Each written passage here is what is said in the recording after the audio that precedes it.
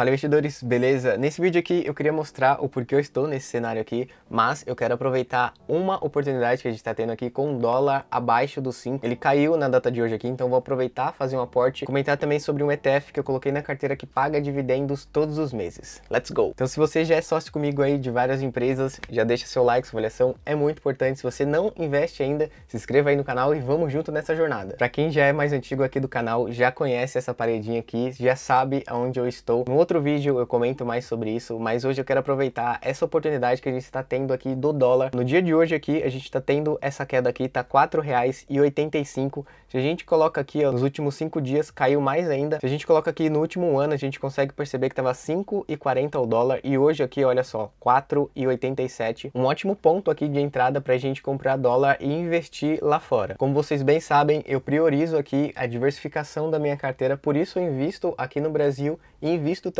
lá fora parte do meu patrimônio. Aliás, uma boa parte do meu patrimônio está lá fora também. Na data de hoje, olha só, eu consigo ver aqui eu estou com 3.105 dólares. Se a gente fazer a conversão aqui, deixa eu abrir a calculadora. 3.105 Vou fazer aqui vezes a cotação de 5, que é mais ou menos o dólar, vezes 5. Olha só, do meu patrimônio aqui eu tenho 15.525 reais. Se a gente comparar aqui, ó, na minha corretora aqui eu tenho 95.257. Então vocês conseguem perceber que a maior parte do meu patrimônio está aqui em reais ainda. Porém, eu pretendo continuar aumentando minha posição lá fora em dólar. Por isso que hoje aqui, aproveitando essa queda aqui, eu vou fazer um aporte de mil reais em dólar novamente, um aporte bem pesado aqui para investir lá fora. E o investimento em dólar lá fora a gente consegue ganhar em duas pontas, na valorização do ativo que a gente tiver lá fora e também no dólar em si, porque a história nos mostra que ele vem sempre se valorizando frente ao real. Até porque é os Estados Unidos, né? Então as melhores empresas do mundo estão lá e a inflação deles é menor do que aqui no Brasil, a taxa de juro, portanto, é menor também,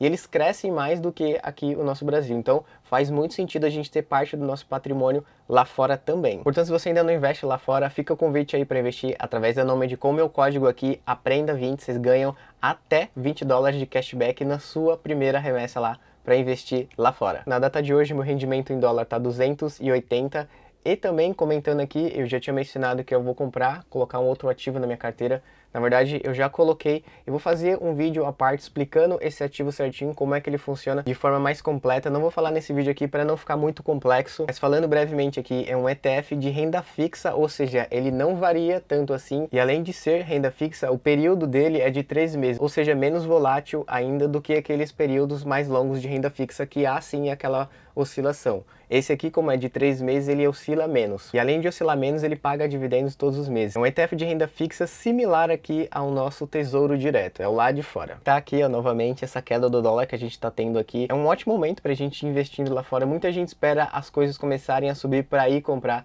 Isso não é um movimento muito inteligente. A gente consegue observar aqui, olha só, o MXRF11 eu estava comprando ele na casa de 9,80, 9,90, 10,10. Agora ele está aqui ó, em R$ 11,10. Muita gente não queria comprar lá naquela época que achava caro ou achava que poderia cair mais ainda. Então a gente tem que aproveitar esses momentos onde o ativo está caindo, se ele não perder os fundamentos, obviamente, e fazendo aportes. Então o MXRF11, fundo imobiliário, eu não compro ele mais pelo menos nesse preço aqui, eu acho ele muito caro. Portanto, eu prefiro aproveitar aqui outros ativos que estão em queda. Justamente por isso eu estou comprando dólar aqui na data de hoje, aproveitando que ele caiu aqui hoje mesmo para 4,85. Bora lá. Então vou clicar aqui, ó, adicionar dinheiro, conta investimento. Eu ainda não tenho saldo, vocês podem ver aqui que tá 00. Então vou clicar aqui para depositar. Olha só, transferência feita aqui, já recebi a notificação, mil reais disponíveis aqui. Deixa eu só atualizar aqui no aplicativo, beleza, mil reais. Agora eu vou converter aqui, tá 500 é o padrão. A gente consegue colocar acima disso qualquer valor. Então vou colocar aqui mil reais. Então na cotação de hoje aqui eu vou receber 201 dólar,67. Continuar. Aqui fala que a conversão é um dia útil, mas geralmente, como vocês sabem, aqui coisa de 10, 15 minutos já está feita a conversão para dólar. Então vou esperar fazer a conversão aqui agora. Como vocês sabem, eu tinha 15 mil, vocês podem ver aqui. Agora com mais esse mil, vou ter 16 mil reais investindo em dólar. Na verdade seria aqui a 3.300 dólares. Hoje é segunda-feira, na verdade eu queria fazer o um vídeo de por que eu voltei aqui para essa casa, como é que tá a construção aqui. Mas como o dólar caiu, eu resolvi aproveitar aproveitar essa oportunidade aqui, porque a gente tem sim que aproveitar as oportunidades e eu queria falar disso para vocês também. Portanto, a gente tem que aproveitar essas oportunidades. Falando novamente sobre MXRF11, não espere ele crescer, subir bastante assim, se valorizar muito para você ir investir no ativo. A gente tem que comprar ele em pontos interessantes. Tem os indicadores que a gente pode seguir aqui, ó, o PVP, que é o preço sobre o valor patrimonial do MXRF11, tá 1,11 tá muito acima do valor patrimonial dele, ainda por cima é um fundo de papel. Não faz nem sentido se a gente olhar o HGLG aqui, que é o fundo de tijolo, um excelente fundo de galpões logístico, ele está aqui ó, com 1,06 o PVP dele, né? Então fundo imobiliário de papel tá mais caro do que um de tijolo, não faz muito sentido. Mas isso a gente vai tratar num outro vídeo aqui essa semana que eu vou falar sobre como é que tá a minha carteira. Então esse foi o aporte dessa semana. E aí se você ainda não tem uma conta na Nomad com o código APRENDA20, vocês conseguem até 20 dólares de cashback na sua primeira remessa lá, beleza? Curtiu esse vídeo aqui? De verdade mesmo, deixe o like aí, sua avaliação é muito importante. E é isso aí, até a próxima.